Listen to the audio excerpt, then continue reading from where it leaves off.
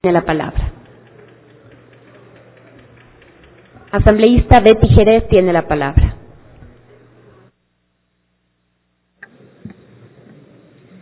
Buenas tardes, compañeros, compañeras, asambleístas, eh, compañeros que están en las barras altas. Bueno, desde la Comisión de Biodiversidad eh, se ha acogido en el tema de la consulta prelegislativa que ha sido pedido de los pueblos y nacionalidades indígenas, afroecuatorianas y montubios, para nosotros que somos parte del sector rural de las comunidades, es indispensable que siempre en las leyes se tomen en cuenta nuestros pueblos y nuestras comunidades. Por esa razón es que hoy, en este momento, en este proyecto de ley que se está debatiendo, es, es muy interesante mencionar aquí al pueblo ecuatoriano, a nuestras comunidades, al sector rural, de que cada uno de nosotros, los asambleístas, defendemos a nuestros pueblos, ya que con la confianza que ellos nos han dado, estamos aquí para debatir, para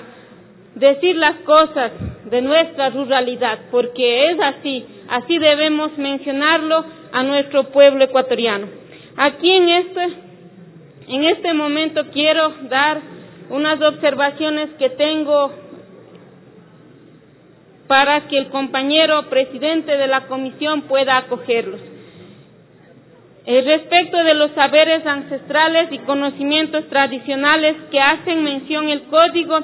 es importante que se utilice la terminología constitucional y de los instrumentos internacionales sobre el tema bajo la siguiente fórmula,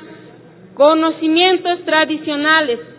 colectivos y saberes ancestrales. Así también es, importante señalar que los conocimientos tradicionales no solo tienen los pueblos y nacionalidades indígenas, también hay que mencionar a los compañeros afroecuatorianos y montubios porque todos nosotros tenemos nuestras culturas, nuestras eh, aplicaciones de vestimentas, nuestros propios idiomas. En este tema también nuestras culturas, en el tema de, del, eh, del, de los toros del pueblo, en nuestras comunidades, en nuestros eh, pueblos, lo hacemos en, en las festividades. Por esa razón yo quiero decir al compañero, y estoy de acuerdo con las compañeras que han antecedido la palabra, porque las realidades que vivimos en nuestras ruralidades, en nuestras comunidades, también debemos reflejarlos en las leyes, siempre y cuando no vayan en contra de, de, nuestras costumbres, también debemos aplicarlos en nuestras comunidades. Si bien es cierto, ustedes, compañeros que están en las barras altas, saben cómo nosotros manejamos nuestras tradiciones, nuestras culturas. Por esa razón, Estoy de acuerdo con la compañera Estela Cero que mencionaba de los de las culturas que nosotros aplicamos, por ejemplo, los toros del pueblo, los niños, la familia, todos nosotros salimos a festejar, a visibilizar las, las fiestas que tenemos en nuestras comunidades. Por esa razón es que siempre tienen que mencionar a todos, a los afroecuatorianos, a los indígenas, a los montubios en este, en este proyecto de ley que es importante, también la protección de la Pachamama, de nuestra madre tierra, del agua y también de la protección de los pueblos y nacionalidades, porque no solo hay que mencionar como comunidad, como pueblo, sino mencionar a nuestros tres pueblos que que están dentro de la Constitución y, a nivel internacional son conocidos. También quiero mencionar en lo relacionado al Sistema Nacional de Áreas Protegidas, si bien en el proyecto se menciona se habrá limitaciones a los derechos reales, me parece que es necesario incorporar en el inciso 3 del artículo 37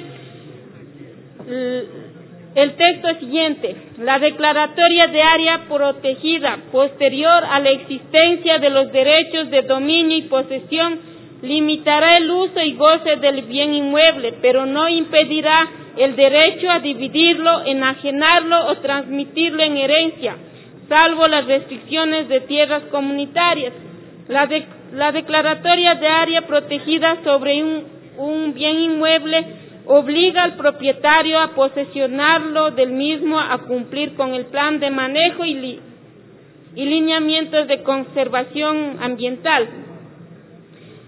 En este sentido, eh, en esta incorporación también eh, quería proponer que también es muy importante mencionar el problema constante que tenemos o, o hay preocupaciones en la ciudadanía y en las comunidades eran las limitaciones sobre los,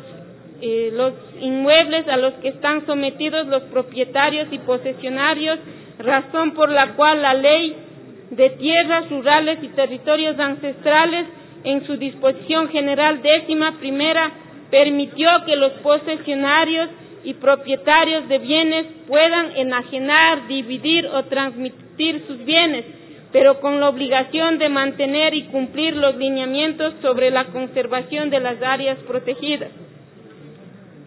En este mismo sentido, en los artículos 43, 44, se habla de limitaciones al uso y aprovechamiento, lo cual, a la luz del ordenamiento jurídico ecuatoriano, es cerrado debido a que, de acuerdo al Código Civil, los derechos reales son dominio, uso, uso, habitación, herencia, servidumbres activas, prendas e hipotecas y por tanto lo correcto es hablar de limitaciones de uso, goce y disposición que son características del derecho real de dominio. También tenía una observación eh, al artículo 45 en la que pido también que se incorpore en el tercer inciso del artículo 45 la frase con el acompañamiento directo para, la elaboración del plan de manejo, eh, que dice lo siguiente, el, artículo 45. El subsistema comunitario se compone de las áreas protegidas de las comunas, comunidades, pueblos y nacionalidades que la autoridad ambiental nacional haya declarado como tales, las cuales se incorporan al presente subsistema la Autoridad Ambiental Nacional determinará los criterios para la solicitud de declaratoria de un área como protegida por parte de las comunas, comunidades, pueblos y nacionalidades. La administración de las actividades contempladas en el plan de manejo de cada área protegida le corresponde a la comunidad, comunidades, pueblos o nacionalidades con el acompañamiento directo para leer para la elaboración del plan de manejo de la autoridad ambiental. En este sentido, igual hay, eh, tengo observaciones para el artículo 49. También es importante recordar que en la Constitución de la República reconoce y garantiza el derecho a la propiedad en todas sus formas y expresamente en su artículo 323 que dice las instituciones del Estado por razones de utilidad pública o interés social y nacional, podrán declarar la expropiación de bienes previa justa valoración, indemnización y pago. Entonces, de ese texto se entiende que la expropiación se realizará a la propiedad privada, pues en la propiedad pública lo, lo óptimo es que se realicen convenios y al leer el artículo mencionado me, me salen dudas respecto de cómo opera la expropiación a la propiedad pública por parte del MAE o de los GAT. En este sentido, me permito sugerir el siguiente texto para, para, primer, para el primer inciso del artículo 49, que dice lo siguiente, artículo 49, facultad de la expropiación y, y prohibición de invasiones para promover la conservación de la biodiversidad y protección y conectividad de los ecosistemas y áreas de interés ecológico, la Autoridad Ambiental Nacional o los gobiernos autónomos descentralizados podrán expropiar previa declaratoria de utilidad pública, pública o interés social. Igual aquí quiero dejar mencionando de que esta ley tiene que precisar conceptos que no confundan a la ciudadanía y que si si los conceptos o los artículos que,